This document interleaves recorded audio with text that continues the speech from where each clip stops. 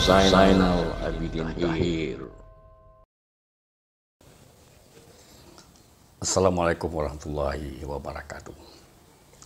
Diharap semuanya dalam keadaan sihat walafiat ya. Dimurahkan rezeki di, Dibagi kesihatan Dan uh, bersyukurlah Terhadap kehidupan yang diberi oleh Allah SWT Dalam banyak video reaction saya tengok kan ada yang bagi culture shock lah ada yang bagi perbezaan bahasa lah. Sebenarnya banyak tempat saya pergi di dunia ni ada ada tiga empat negara yang saya dah pergi lah kondisi negara tu sedikit sebanyak saya, saya dah tahulah. Sebab saya ni banyak membaca banyak mengikuti dokumentari banyak uh, melihat dunia daripada perspektif luar. Bukan dari perspektif negara sendiri. Sebab berita-berita yang disampaikan di setiap negara ini berbeza-beza berbeza-beza. Tidak sama. Ikut pada politik uh, tempatan lah.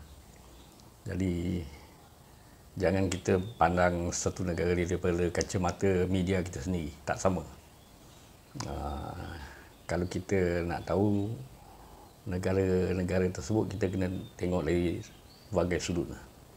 Misal kata kita nak melihat uh, Iran ya.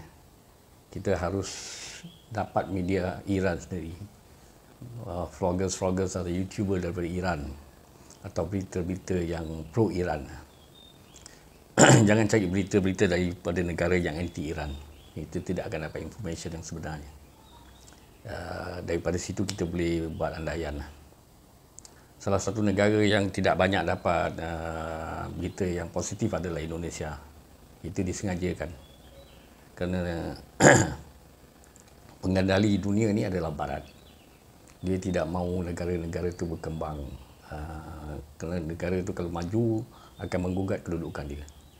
Negara-negara blok barat ini tidak punya cukup uh, sumber daya alam.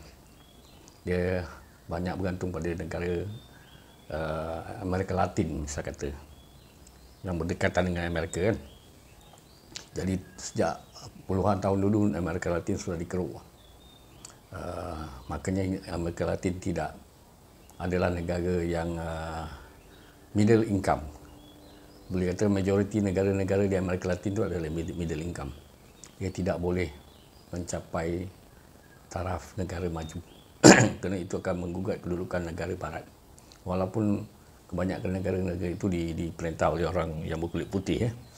Tapi di situ dimainkan peranan. Afrika adalah negara yang mengeluarkan sumber daya alam dan Afrika tak boleh tak boleh kaya. Afrika dikenali supaya tetap miskin, supaya hasil mahsul Afrika tu dikeruk tanpa banyak uh, tanpa banyak perlawanan.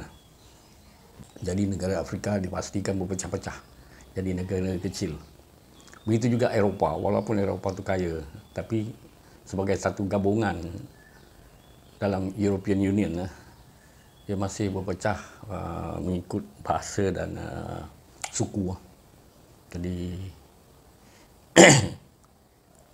yang mengendalikan dunia adalah US, Amerika Syarikat, Great Britain, France, Germany, Italia.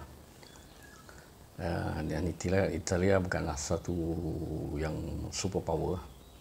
Jadi Australia uh, dan sebelah timur uh, Jepun, Jepang dan Korea Korea Selatan. Uh, China tu berkembang sendiri sebab dia punya pasaran dalaman yang kuat. Uh.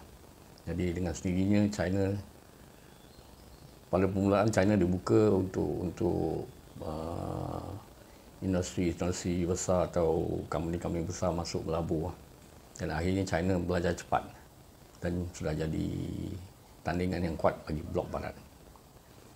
Begitu juga di Asia Tenggara kan. Di Asia ni kebanyakan negara adalah negara middle income. Jadi susah nak jadi uh, negara maju. Memang dikenalikan supaya tidak akan jadi negara maju.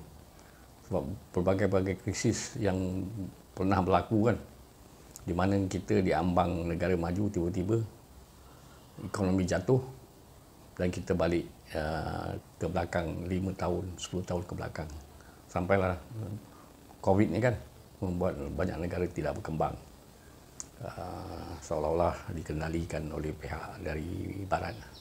Supaya kita ni tidak berkembang kita tetap jadi negara uh, middle income. Untuk makluman eh, sejak tahun 2015 Indonesia sudah masuk ke, tahap negara uh, upper middle income. Kalau tak salah tahun 2018 di mana pendapatan per kapita Indonesia naik ke 4000 US dollar. Kalau 4000 US dollar sudah masuk ke tahap negara upper middle income.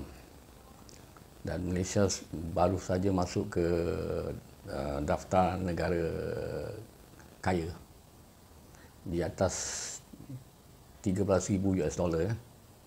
Nah, itu batas untuk menjadi negara yang uh, kaya lah. Jadi Indonesia sudah naik satu peringkat ke negara upper middle class dan Malaysia masuk ke kategori uh, negara yang kaya lah. Kalau sampai ke tahap 18,000 US dollar baru kita masuk ke negara maju. Jadi Malaysia masih jauh lah untuk menuju ke negara maju.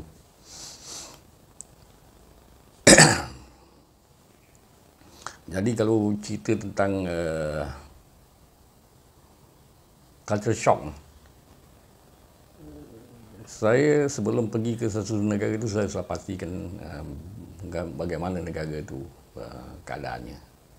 Daripada pembacaan saya, daripada media-media yang saya dapat yang boleh saya pegang. Uh makanya saya tidak ada culture shock. Lagi satu lagi, kalau mengikut pandangan daripada media, ada banyak media, ada media yang mengurus kepada bisnes. Ah. Sebab kebanyakan media ni dipunyai oleh uh, big corporation lah.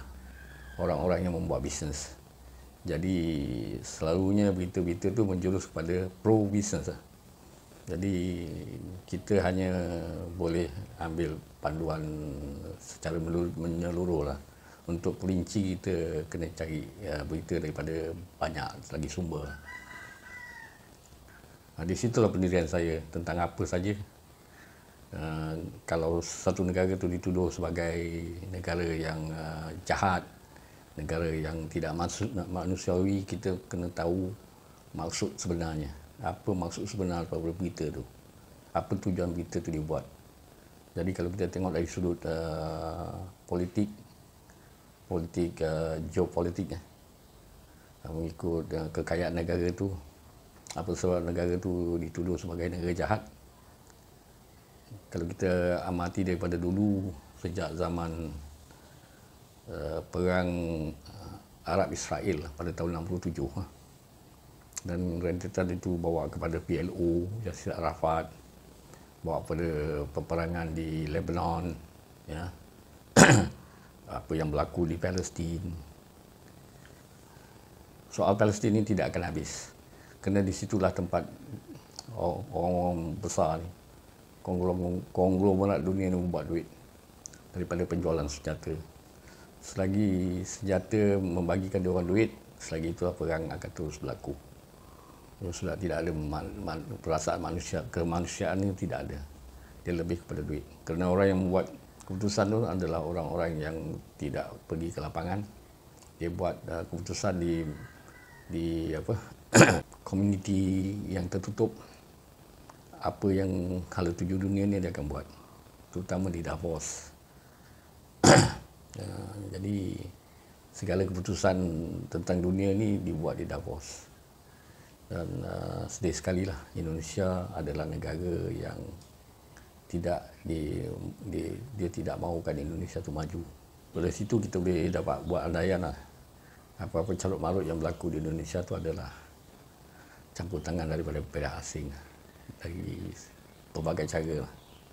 Kerana untuk membuat seluruh negara tu kucak kacir tak perlu orang luar, orang dari dalam Orang di dalam pun boleh buat dengan uh, berbagai-bagai cara lah. Terutama menggunakan duit, uh, kekuasaan dan wang. Segalanya boleh berlaku. Itulah sikit sebanyak daripada saya hari ini. Assalamualaikum warahmatullahi wabarakatuh. Jangan lupa subscribe, komen, like dan share video ini kepada teman-teman.